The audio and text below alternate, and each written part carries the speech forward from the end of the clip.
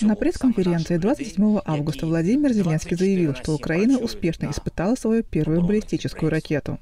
Я думал, что рано об этом говорить, но уже было испытание, положительное, первой баллистической украинской ракеты. Я с этим поздравляю нашу ВПК, заявил Зеленский, но при этом не дал никаких подробностей. По его словам, создание собственной баллистической ракеты говорит о высоком уровне украинских специалистов оборонно-промышленного комплекса.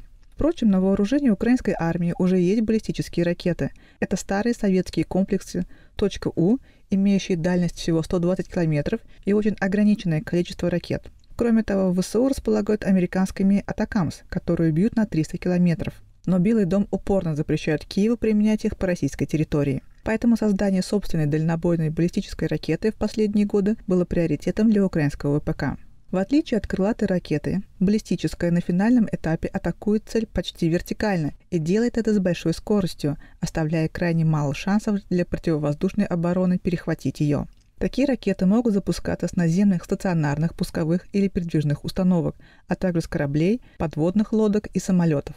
Над созданием собственной баллистики Украина задумалась еще в начале 2000-х годов, в период президентства Виктора Ющенко. Тогда было объявлено о разработке оперативно-тактического ракетного комплекса «Сапсан», который фактически должен был стать аналогом российского «Искандера». Завершить этот проект планировалось в 2012 году, но сроки отодвинулись из-за недостатка финансирования. Проект был внезапно остановлен при президентстве Виктора Януковича в июне 2013 года. Однако уже спустя три года, в 2016 году, стало известно о возрождении проекта «Сапсан» под экспортным названием «Гром-2».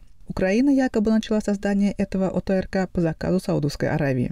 Если украинская баллистическая ракета окажется достаточно быстрой, мощной и меткой, то под угрозой может оказаться даже Москва. Расстояние от российской столицы до украинской границы составляет примерно 460 километров.